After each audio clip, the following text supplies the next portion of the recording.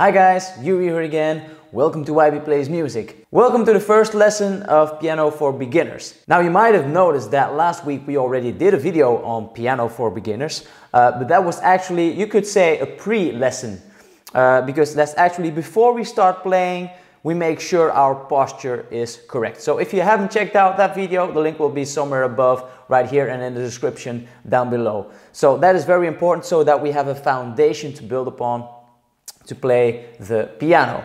Now it's very important when we start playing piano that we teach all of our fingers the right movements so that they remember how to move on the keyboard of your piano.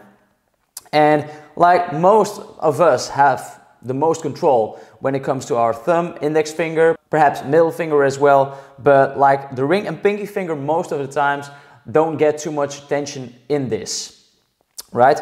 So to start off, I'm gonna just use my right hand and we're just gonna use the white keys, okay? Now I've explained already how the keyboard works as well in a video called Music for Beginners. The keyboard is the best tool to learn music, in my opinion. So if you want to know how to navigate on your keyboard, watch that video, okay? Also the link will be in the description down below. I'm gonna just start with my right hand because for a beginner it's too advanced to use both hands at the same time. I'm gonna start with my thumb on the C4, which means it's the fourth C starting from the lower part on my keyboard. Yeah, this is C1, C2, C3, C4. Okay? So we're starting with our right thumb on the C4. And I'm gonna put the other fingers each on the key next to that one, on the white key next to that. Okay?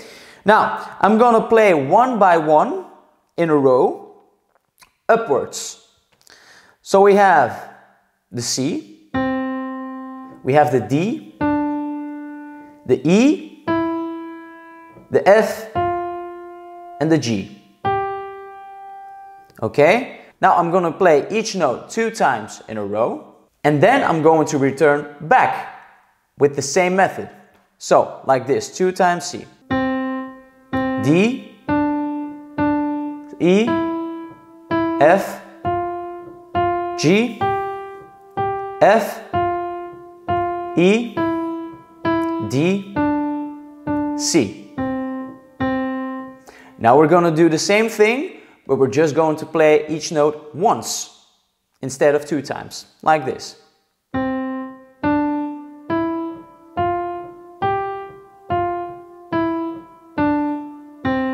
So I lift my finger up for each time that I play another note. Now I said in the previous video for your posture that it's very important that we keep our fingers somewhat bent, not too much, not fully straight, a little bit, okay? Now there was a little pause in between every note. Now we're going to connect them. So every time that I lift the note up, I already push down the other one. Now be careful not to play them at the same time because otherwise the sounds will not match. Let's try this. We have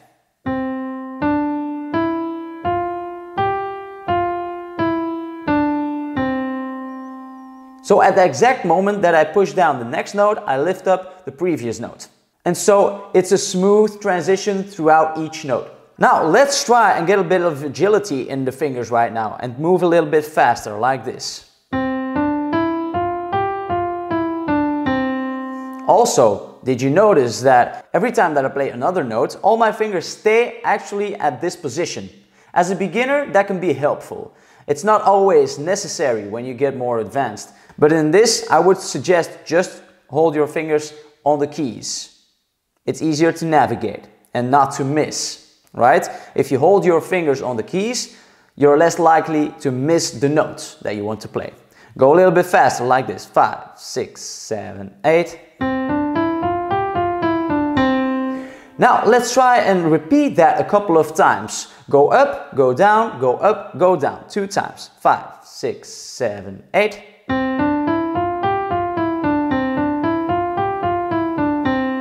Okay? Now that we've done that with our right hand, we're going to also do the same thing with our left hand. We have the same method actually, but the difference is most people have a preferred side to do different things with. Like I'm, for example, left-handed, but I'm more used playing the melody with my right hand. Okay, so I'm better with playing the melody with my right hand. So there will always be one side that is better at something than the other side. Like with everything, not only with music and playing the instruments. Now for our left hand, we're also going to start at the C4, but we're going down so that we have the exact same movement like we did with our right hand, but the opposite, okay?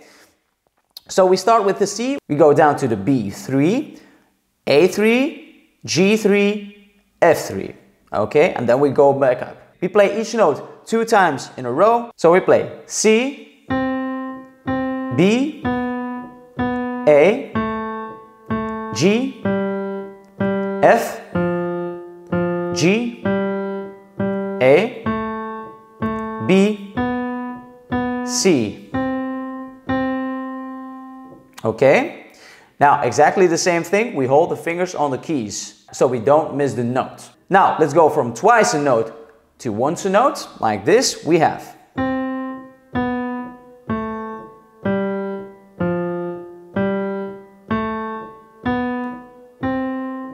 Okay, now there was a little pause in between. Now let's connect them together so that it's a smooth transition between each note we have.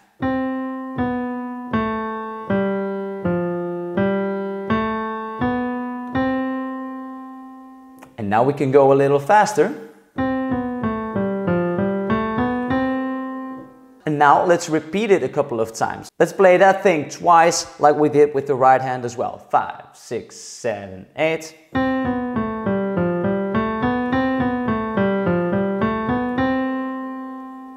Okay, now if you have mastered this, and it's very important that we can keep the same rhythm, kind of like. We didn't really talk about rhythm today, but you will hear if it's not controlled.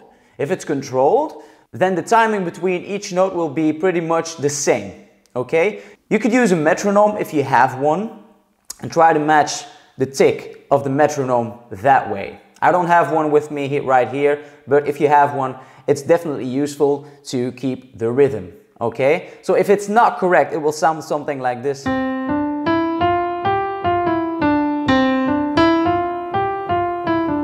So it's, it's, it's not correct. You hear that it's not consistent rhythm. Whilst this is.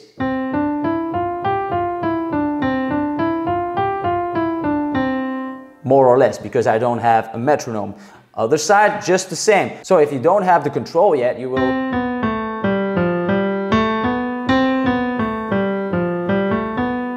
It's not really smooth, okay? So again, use this metronome if you have one. If you don't, try to hear if the rhythm stays consistent.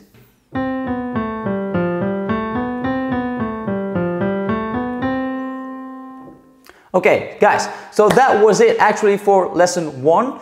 You should get the hang of this pretty soon. And then I hope you stay tuned for lesson two, where we go a little bit further into this. I hope to see you guys next time. Don't forget to subscribe, like, and share the video.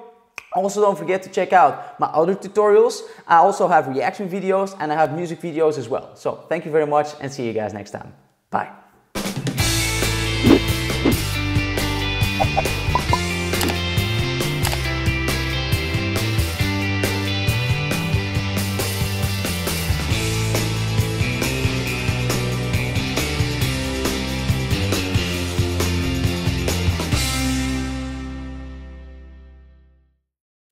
Last week I showed you how to, now you might have noticed last week that we have, oh, now it's time, now it's time to start actually, because it's for, because for the, so we're starting with my, so we're thought, now be, now be careful not to play them at the, so we that, and now let's, now let's, then you, you hear that it's not the, so if you have, it's, it, it's not, just try to hear if it's if the transition is just try to hear if the transition between each note takes the same. Try to hear if the try to hear if the rhythm stays. You should be